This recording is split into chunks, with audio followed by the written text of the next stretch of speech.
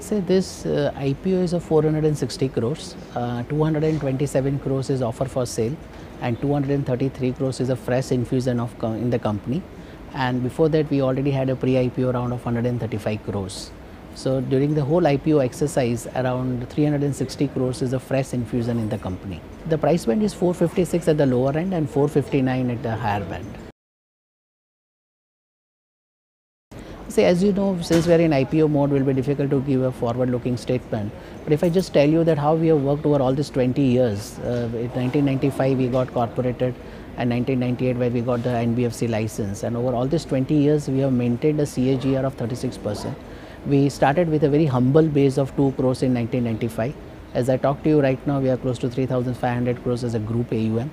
So that translates to a CAGR of more than 36 percent and predominantly we have been serving the middle income and the lower income group of the society through our various products that is micro enterprise loans, small and medium enterprise loans, two wheelers and commercial vehicle and we are also into affordable housing through a subsidiary MAS Rural Housing and Mortgage Finance Limited. See, uh, if I share with you over this journey of 20 years, we have navigated through various such situations. DEMO and GST is being the most published one and with more and more people knowing that. So in terms of demonetization like any other uh, lenders we also had a problem for a quarter. But uh, just to share with you our lending practices, we always have a banking based disbursement and banking based collection that helped us a lot. So during a quarter our check bouncing ratio increased uh, uh, from say around 12 to 15 percent to around 25 to 30 percent.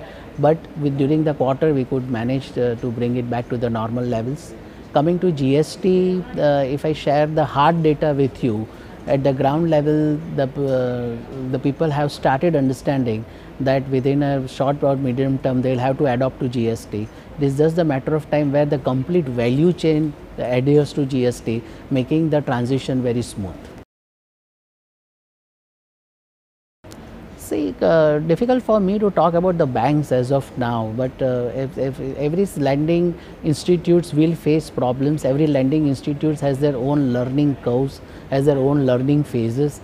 The only thing in lending business when we lose money, the first thing is to learn lessons from it, how we can improve on it and uh, whatever the NPS standards are there in terms of adhering to those NPS standards and saying to that that how we improve the quality through better lending practices.